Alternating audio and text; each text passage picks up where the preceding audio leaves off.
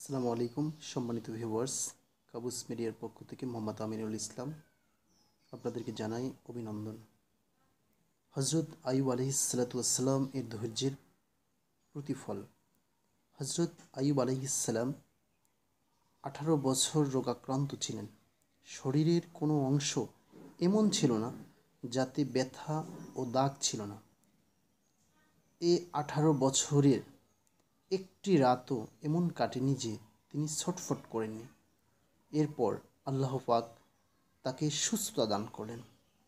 তার সব কজন স্ত্রী ও সন্তান মারা গেছেন। শুধু একজন স্ত্রী জীবিত রইলেন।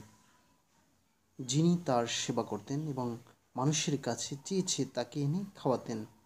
আল্লাহ পাক হজরত আইব আলহিসাল্লাম এর যৌবন ফিরিয়ে দিলেন।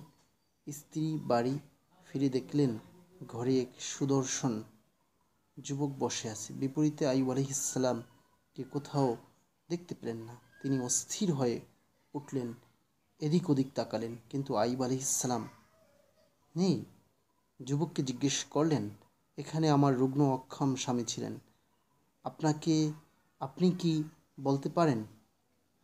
হজরত আইব আলহিসাল্লাম স্ত্রীর কথা শুনে বললেন, আমি তো তোমার সেই স্বামী আয়ুব আল্লাহ তালা আমাকে পুনরায় যৌবন দান করেছেন সুহান আল্লাহ সম্মানিত ভিউয়ার্স উক্ত আয়ুব আল ইসলামের ধৈর্যের প্রতিফল এই ঘটনাটি মানে তিনি যেভাবে ধৈর্য ধারণ করেছেন, এই বিষয়টি আপনাদের যদি ভালো লেগে থাকে, তবে লাইক কমেন্ট শেয়ার এবং সাবস্ক্রাইব করে পাশে থাকবেন। ধন্যবাদ। আসসালামু আলাইকুম।